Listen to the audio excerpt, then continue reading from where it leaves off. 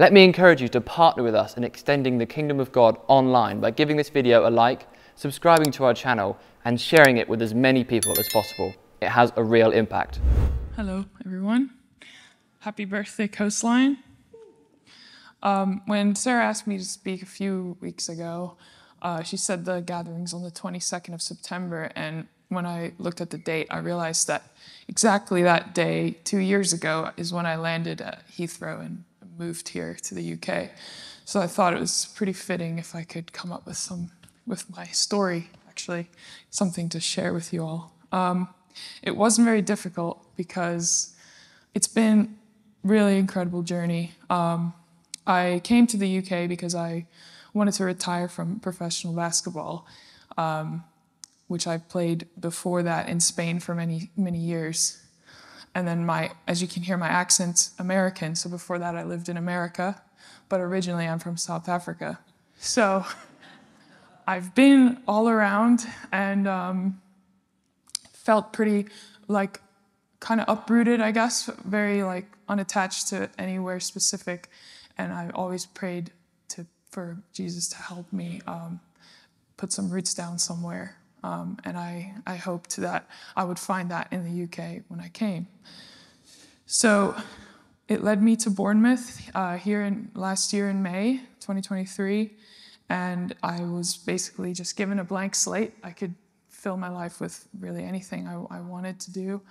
Um, and I quickly realized that the one thing that's most important to me is my faith and um, uh, Jesus. And I wanted to have people around me who shared that. Um, it was easy to talk to about that and who see life through the same lens.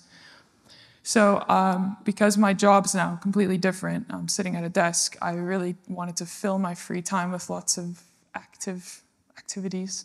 Um, so, I club hopped a lot, like tennis and rowing, and tried to find just a group that I could connect with. Um, so, one Thursday evening, I was on my way home from the tennis club here Winton Tennis Club. And this beautiful church building that I always passed by and admired, the doors were actually open that day or that evening. And I was kind of wondering why, because it's a Thursday evening. Um, and I thought maybe it's like a museum or something, like some old Catholic church, I don't know. Uh, and I, I brought my bicycle in the doorway and I actually ran into Fifi. Uh, so she's the first person I met here. And uh, she told me the worship team are rehearsing this evening, and I was like, oh wow, can I just sit here and listen? So I just literally sat in the back on the floor and I listened to them uh, rehearse, and it was awesome. Uh, all the songs they were playing, like as you know, they're an amazing band, and um, they were playing song after song um, that I actually listened to on my own and love. So I thought, okay, I need to come check this church out. Um, and when I did start coming, everyone have been so welcoming. Uh, the leaders of teams, and then the young adult leaders, Lauren. um, they're always uh, welcoming me in and always greeting me and asking me how I was. Um, and pretty quickly, I started to get to know people. Eventually, I joined the hospitality team, um, and that was really cool to me about this church is that it's not just a church that you attend. Um, you come here and then you get to exercise your faith, as John said, um, and bring that into your everyday life. So that's what I re- that's really what kept me bring, coming back is that this church really cares about outreach and the community and different different things that they offer.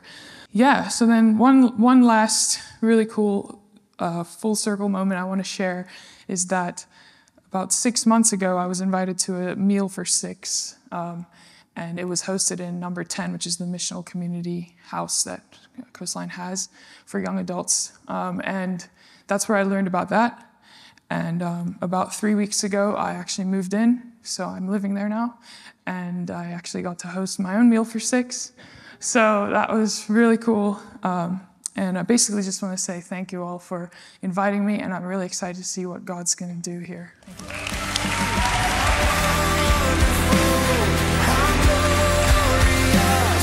Thanks, eh? Suné.